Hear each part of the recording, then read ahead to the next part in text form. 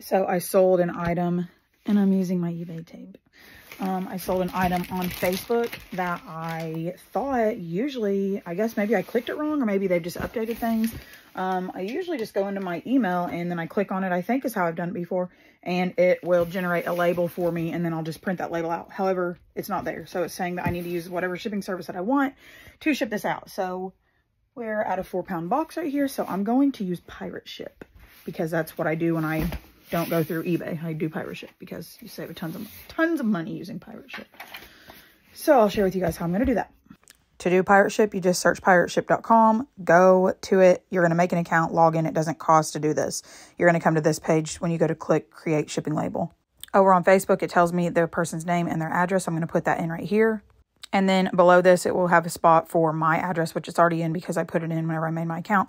Then you're going to clip whatever type of packaging you're going to be using. You can click the drop box down and it will give you some other options, but here I am using a box. So clicking on the box, and now I'm going to put in my package dimensions. So first things, we know it weighs four pounds because I just told you that. And then you're going to measure across. It's hard to do with one hand, but um, you're going to measure across. You're going to measure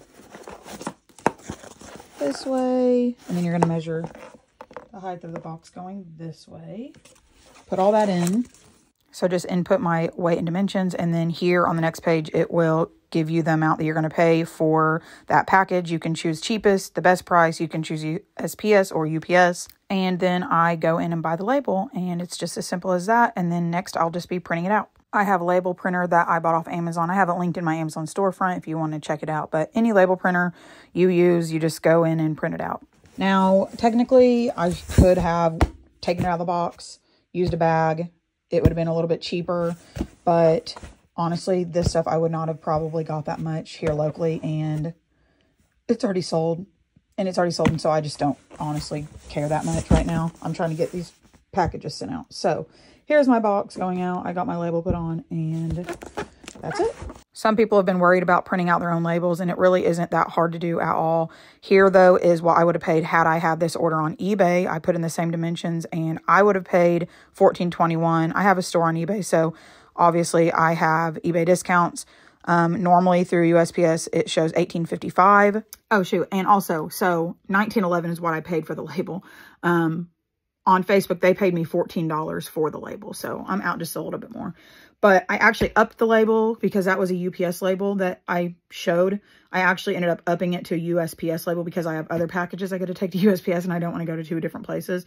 So it was 33 cents more to up the label to a USPS um, Ground Advantage package. So 19, um, what, 44, I think, or something like that, is what I paid for this label through Pirate Ship. And now I'm going to go to USPS and I'm going to ask them what this would have cost me if I would have brought my package in and just I'm buying the label, like if I would have just bought the label through USPS. So here is what it would have cost me, $33.45 to mail this exact package if I will go in and buy the label at the post office. So if you guys found this video helpful, then please do me a favor and like this video, share it out, comment, do all those things um, because that will definitely help me out. So thank you guys and hope you guys are having a great Tuesday.